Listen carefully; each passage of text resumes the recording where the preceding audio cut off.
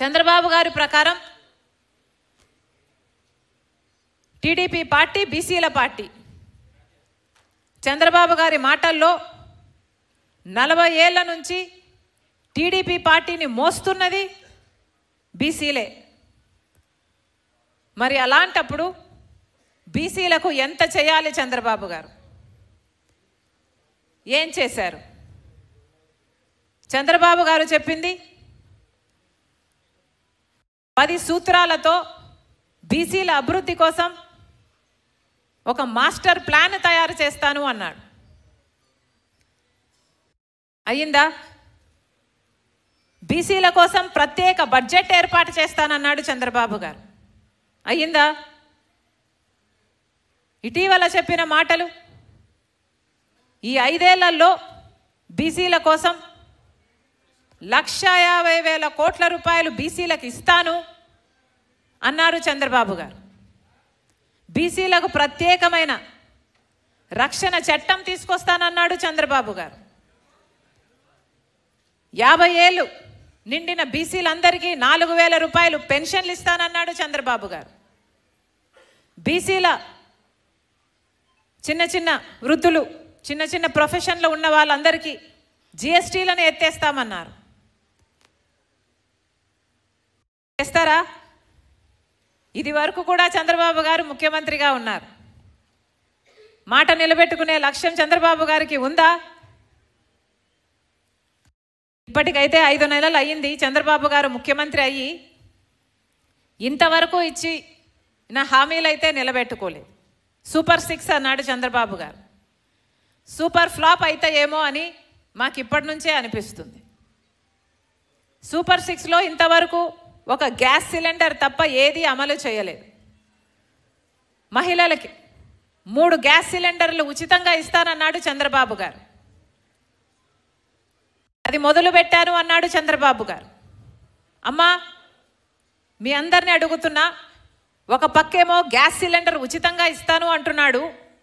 ఇంకో పక్కేమో కరెంటు ఛార్జీలు పదిహేడు వేల కోట్ల రూపాయల భారాన్ని ప్రజల మీద మోపుతున్నాడు. ఒక చేత్తో చారానా ఇస్తున్నాడు ఇంకో చేత్తో రూపాయి తీసుకుంటున్నాడు. గ్యాస్ సిలిండర్ ఉచితంగా ఇస్తున్నామంటున్నారు. పదిహేడు వేల కోట్ల రూపాయలు. వైసీపీ చంద్ జగన్మోహన్ రెడ్డి గారు ముఖ్యమంత్రిగా ఉండి ముప్పై ఐదు వేల కోట్ల రూపాయలు కరెంటు ఛార్జీల కింద అదనంగా ప్రజల మీద భారం మోపి వసూలు చేస్తే చంద్రబాబు గారు కేవలం ఐదు నెలల్లోనే పదిహేడు వేల కోట్ల రూపాయల భారాన్ని ప్రజల మీద మోపడానికి సిద్ధపడ్డా. ఇది ప్రజల మీద ప్రేమ ఉన్నట్ట మహిళల మీద ప్రేమ ఉన్నట్ట ఇప్పటికే ఇల్లు గడవాలి అంటే ఆపసోపాలు పడుతున్నా. అన్ని ఖర్చులు పెరిగిపోయాయి. కానీ ఆంధ్ర రాష్ట్రంలో అభివృద్ధి లేదు ఆదాయం పెరగలేదు. కానీ ఇప్పుడు మళ్ళీ పవర్ బిల్లులు కూడా కనీసం నలభై శాతం కనీసం నలభై శాతం పవర్ బిల్లులు పెరగబోతున్నాయి. మరి చంద్రబాబు గారికి ఎందుకు ఓట్లేసినట్టు? చంద్రబాబు గారికి ఓట్లేస్తే ఒక చంద్రబాబు గారు మారే మాత్రమే అధికారంలో లేరు. చంద్రబాబు గారికి ఓట్లేస్తే ఆయన బీజేపీ పార్టీకి మద్దతు ఇస్తుంటే కేంద్రంలో బీజేపీ పార్టీ కూడా అధికారంలో ఉంది అంటే దానికి కారణం ఆంధ్ర రాష్ట్ర ప్రజలు వేసిన ఓట్లు. మరి బీజేపీ పార్టీకి చంద్రబాబు గారు మద్దతు ఇస్తున్నారు. మరి బీజేపీ పార్టీ మన కోసం ఏమైనా చేస్తుందా అంటే గుండు సున్నా. ప్రత్యేక హోదా ఇవ్వలేదు. కనీసం పదిహేడు వేల కోట్ల రూపాయలు పవర్ ఛార్జీల కోసమైనా ప్రజల మీద మోపకుండా ఉండడానికి ఆ పదిహేడు వేల కోట్ల రూపాయలు చంద్రబాబు గారు బీజేపీ నుంచి మోడీ నుంచి తీసుకురాలేరా? కనీసం అదైనా చేస్తున్నారా? మరి ఎందుకు వేయాలి వీళ్ళకు ఓట్లు? ప్రజల మీద ప్రేమ ఉంది అని వీళ్ళు మాటల్లో తప్పితే చేతల్లో ఎక్కడ కనిపిస్తుంది? చంద్రబాబు గారికేమో బీజేపీతో పొత్తు ఉంది. ఇంకో పక్క జగన్మోహన్ రెడ్డి గారు ఐదు సంవత్సరాలు ముఖ్యమంత్రిగా అంతకు ముందు ఉన్న ఉన్నారు. ఆయనకు కూడా బీజేపీతో పొత్తు లేదు అనుకోవడానికి లేదు. చంద్రబాబు గారికి బీజేపీతో సక్రమ పొత్తు ఉంటే జగన్మోహన్ రెడ్డి గారికి బీజేపీతో ఉన్నది అక్రమ పొత్తు. ఒకరిది బహిరంగ పొత్తు ఇంకొకరిది రహస్య పొత్తు. గత పది సంవత్సరాలుగా మన ఎంపీలందరూ ఏ పార్టీలో అయినా సరే అదే బీజేపీ పార్టీకి ఊడిగలు చేస్తున్నారు. మరి బీజేపీ పార్టీ మనకేం చేస్తుంది? గుండు సున్నా. ఏమీ చేయలేదు. కనీసం మనకు ఒక రాజధాని కూడా లేదు. పక్క రాష్ట్రాలు అందరికీ ఉన్నాయి. హైదరాబాద్ ఉంది బెంగళూరు ఉంది చెన్నై ఉంది అందరికీ అన్నీ ఉన్నాయి. మనకేముందమ్మా? ఏముంది? గుండు సున్నా ఉంది. ఎక్కడ జరిగింది అభివృద్ధి? పది సంవత్సరాలు కనీసం పట్టుమని పది కొత్త పరిశ్రమలు కూడా రాలేదు. వీళ్ళ నాయకులు వీళ్ళ ప్రజల గురించి ఆలోచన చేసేది.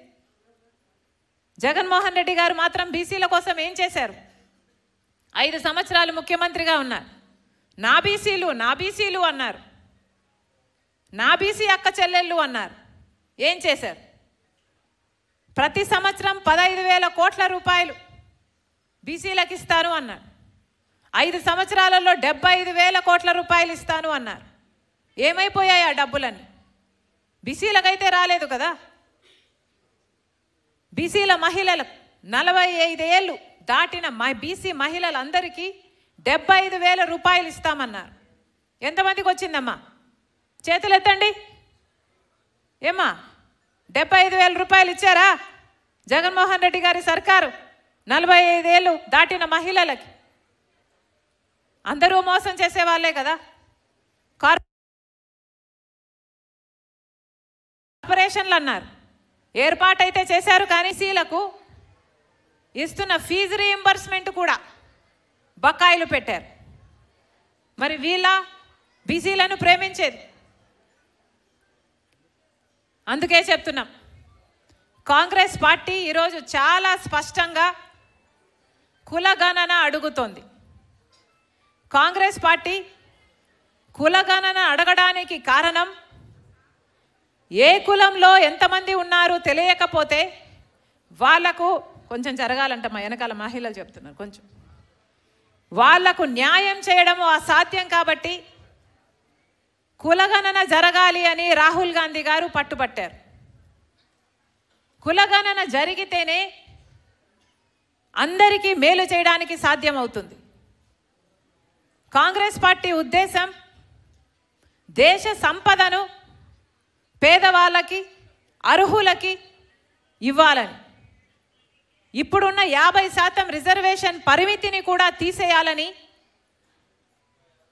కులాల ప్రకారం కులగణన జరిగిన తర్వాత కులాల ప్రకారం వాళ్ళ రిప్రజెంటేషన్ ప్రకారం వాళ్ళకు న్యాయం చేయాలి అన్నదే కాంగ్రెస్ పార్టీ ఉద్దేశం. అందుకనే తెలంగాణలో కూడా కులగణన మొదలుపెట్టింది కాంగ్రెస్ పార్టీ.